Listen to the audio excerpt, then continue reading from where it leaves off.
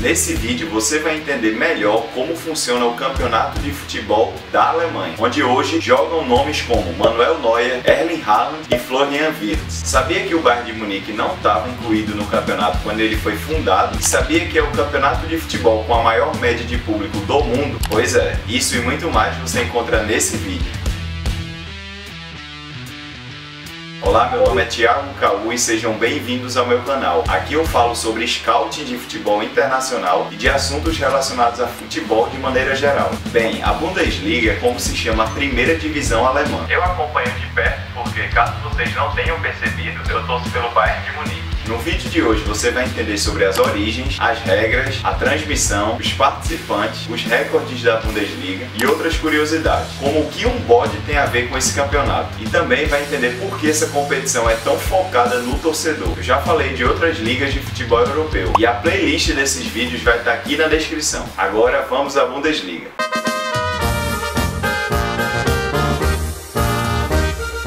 Contrário de outras competições em outros países europeus, o campeonato de futebol profissional na Alemanha começou relativamente tarde, em 1963. Até antes disso, as ligas de futebol no país funcionavam como ligas regionais amadoras. A Segunda Guerra Mundial havia acabado em 1945 com a Alemanha completamente desmoralizada. O orgulho em ser alemão simplesmente não existia, até que na década seguinte aconteceu a Copa do Mundo de 54 na Suíça. A Alemanha havia entrado como uma zebra, mas sob o comando do treinador Sepp Herberger, acabou vencendo a competição e surpreendeu a todos. Segundo o Almanac dos Mundiais, que é esse livro aqui, a favorita dessa Copa era a Hungria, inclusive contava em seu elenco com o lendário Ferenc Puskas. É o mesmo Puskas que dá o nome do prêmio da FIFA do gol mais bonito da temporada. O livro diz que a Hungria atacou tanto durante o jogo que, abre aspas, tudo levava a crer que a Alemanha não iria conseguir suportar aquela pressão até o final do jogo. Mas aguentou, reagiu e venceu seu primeiro Mundial. Ali estava iniciado o processo de resgate do orgulho alemão, pelo menos parcialmente através do futebol. Segundo Segundo a Deutsche Welle, foi justamente o treinador que havia vencido o Mundial, Sepp Herberger, que percebeu a necessidade do país profissionalizar o futebol, porque isso elevaria os ânimos e seria bom para a Alemanha em termos financeiros. Assim, ele conseguiu convencer a Federação Alemã de Futebol a fundar a Bundesliga. Os 16 membros fundadores estão aqui na tela. Para vocês saberem como esses 16 foram escolhidos,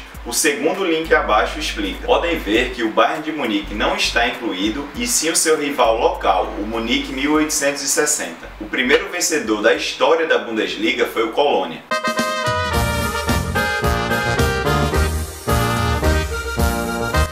Temporada da Bundesliga vai de agosto de um ano até maio do outro, ou seja, metade de um ano e metade do outro. Isso é um padrão das competições de futebol na Europa em pontos corridos. 18 clubes competem todos os anos pela conquista do campeonato e são 34 rodadas no total em jogos de ida e volta. O sistema de pontuação é igual ao do Brasileirão. O primeiro, segundo, terceiro e quarto colocados se classificam direto à Champions League. O quinto lugar vai à Europa League e o sexto colocado vai a Conference League. Lá no final da tabela, o 16º disputa uma repescagem para não ser rebaixado e o 17º e o 18º, o penúltimo e último colocados, respectivamente, são diretamente rebaixados à segunda divisão. Se a temporada terminasse hoje, como estaria a situação dos clubes? Vamos ao SofaScore conferir. A Champions League iriam Bayern de Munique, Borussia Dortmund, Bayern Leverkusen e RB Leipzig. A Europa League iria o Freiburg e a Conference League iria o Hoffenheim. Já na parte de baixo, hoje o Hertha Berlim disputaria a repescagem e a segunda divisão diretamente iriam Arminia Bielefeld e Greuther Fürth. A janela de transferências da Bundesliga segue aquele padrão de todas as competições europeias. A janela de inverno dura o mês de janeiro todo e a janela de verão vai do início de julho até o final de agosto. Com relação à transmissão, você pode assistir aos jogos da Bundesliga no site do OneFootball e alguns jogos são transmitidos também pela Band.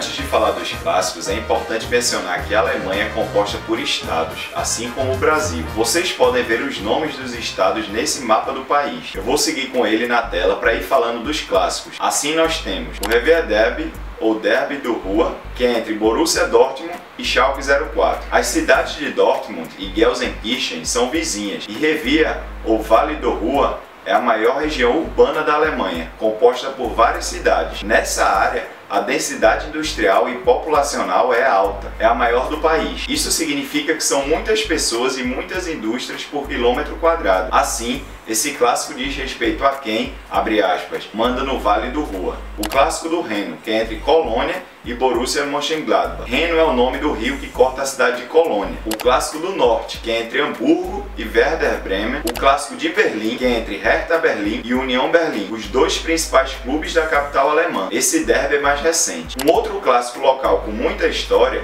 é o jogo entre Bayern de Munique e Munique 1860, mas ele nunca mais aconteceu porque o 1860 está na terceira divisão faz tempo. Tem também o clássico da Baviera, que é entre Augsburg e Bayern de Munique. Como o nome já sugere, esse tem a ver com o fato de ambos os clubes estarem situados em cidades no estado da Baviera. E por fim, o maior do país, o Der Clássica. Esse é um jogo entre Borussia Dortmund e Bayern de Munique, os dois maiores clubes do país atualmente. Ficou faltando mencionar algum clássico? Complementa aqui nos comentários.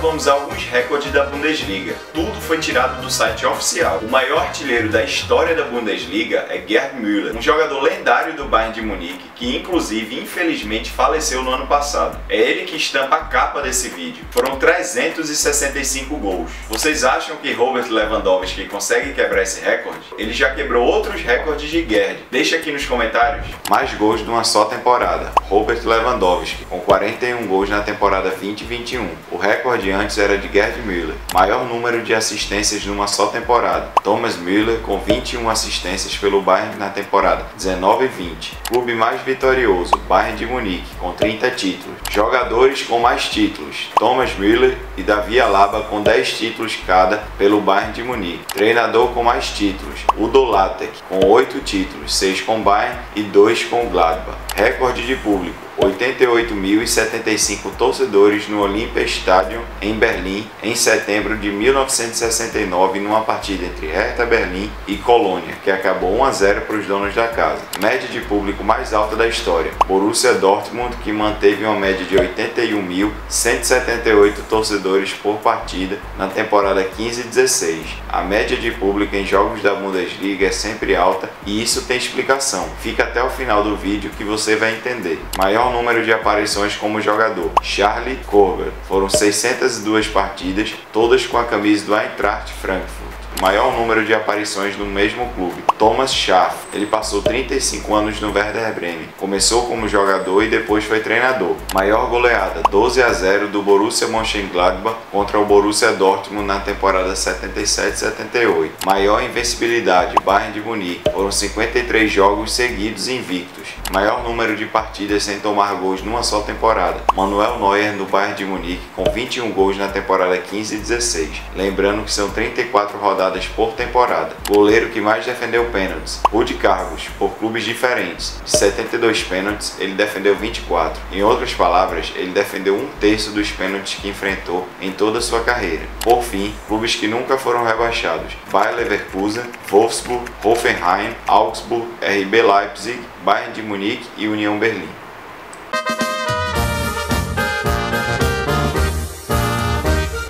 Bundesliga tem um foco grande no torcedor. Os clubes da primeira divisão e da segunda até possuem um compromisso de respeitar o torcedor e as associações de torcedores acima de tudo. Na Alemanha, os organizadores de eventos de futebol, os jogadores e as comissões técnicas estão sempre preocupados em garantir a melhor experiência a quem vai ao estádio, desde o momento em que o ingresso é vendido até o momento em que se retorna para casa depois da partida. Vocês podem até dizer, ah, isso é qualquer campeonato, né? E claro, pelo menos é em tese. Mas na Alemanha isso é levado a outro nível e eu vou explicar o porquê agora. Vamos começar pela famosa regra do 50 mais 1, estabelecida em 1998. Bem, essa regra diz que para os times que estão na Bundesliga, investidores só podem controlar até 49% das ações do clube. Os outros 51% correspondem aos sócios do clube, que possuem poder de voto majoritário. Por isso 50 mais 1. Há exceções, o Leverkusen, Wolfsburg e o Hoffenheim. Essa regra impede que o investidor muito rico, um bilionário por exemplo, como nós vemos no PSG ou na Premier League, compre o clube e passe a decidir praticamente tudo sozinho sobre tudo que envolva o clube. Na Alemanha, as sócias e os sócios dão a palavra final. Futuramente eu posso fazer um vídeo mais detalhado sobre essa regra, porque tem prós e contras. O que é importante vocês reterem agora é que na Alemanha, de maneira geral, os torcedores é quem manda nos clubes na primeira divisão.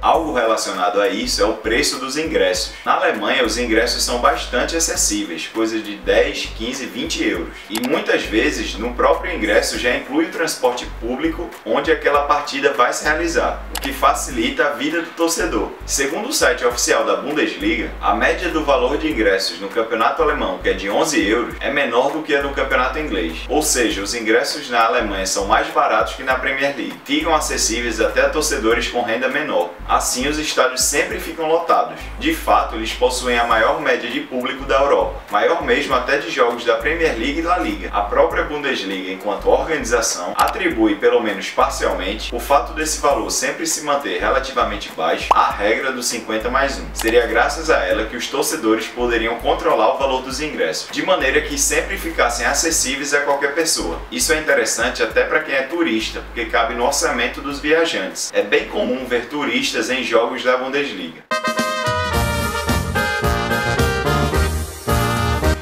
Fim, vamos a algumas curiosidades da Bundesliga sobre as estrelas nos uniformes. Segundo a DFL, três títulos equivalem a uma estrela, cinco títulos equivalem a duas estrelas, 10 títulos equivalem a três estrelas, 20 títulos equivalem a quatro estrelas e 30 títulos equivalem a cinco estrelas. Inclusive a minha camisa está desatualizada, eu preciso comprar uma nova para atualizar mais uma estrela aqui em cima do escudo. Outra curiosidade, na Alemanha, diferentemente dos Estados Unidos e da Inglaterra, é possível beber nos estádios. Tem copa até de um litro, verdadeiras leiteiras, jarras assim, da quantidade de cerveja que cabe ali dentro. Esses copos normalmente são recicláveis, porque é um país que leva a reciclagem bastante a sério. Inclusive eu tenho um desses, que é esse aqui. Eu fui a um jogo contra o RB Leipzig, onde o Bayern ganhou de 1 a 0 e eu trouxe esse copo. É reciclável dura até hoje. Mais uma curiosidade surpreendente. Que país mais exportou jogadores à Bundesliga? Áustria, Suíça, Holanda, Dinamarca, França, Espanha? Não. Se você pensou num desses, pensou errado. Foi o Brasil. Segundo uma matéria no site da Bundesliga, esse título é nosso. Por que será que vai tanto brasileiro para lá? Quem foram brasileiros que se destacaram na Bundesliga? Comenta aqui embaixo. Por fim, normalmente os mascotes em campo são pessoas fantasiadas, mas a Bundesliga conta com um mascote que é um animal de verdade. Trata-se de Rennes, o nono, o bode do Colônia. Isso mesmo, um bode. Ele é o bode mais famoso e mais querido de toda a Alemanha. O primeiro bode, Rennes o primeiro, veio como doação de um circo na década de 50. Renes o nono, funcionário atual, é da nona geração. Ele vai às partidas, fica comendo no estádio, faz graça, passeia nas laterais do campo e anima a torcida. Tudo isso com o uniforme do Colônia. Vocês encontram vídeos sobre ele no canal oficial do Colônia no YouTube. É isso, pessoal. Obrigado por assistir até o final. Espero que tenha dado para resumir alguns pontos sobre a Bundesliga. Sou muito suspeito para falar, torço por um time da Alemanha. Eu gosto do estilo de jogo do futebol alemão. É um futebol que é sempre propositivo, um toque de bola muito refinado, jogadas trabalhadas, vários jogadores interessantes, jogadores novos em grande potencial, ótimos treinadores. Então eu gosto da competição e do futebol alemão de maneira geral, tanto da primeira como da segunda divisão, que são competições que eu acompanho mais de perto. Aproveita para se inscrever aqui também que eu vou fazer mais vídeos parecidos com esse. Me conta aqui nos comentários se esse vídeo te ajudou e caso tenha deixado de falar algo importante, acrescenta essa informação aqui nos comentários também. Até o próximo vídeo. Tchau, pessoal!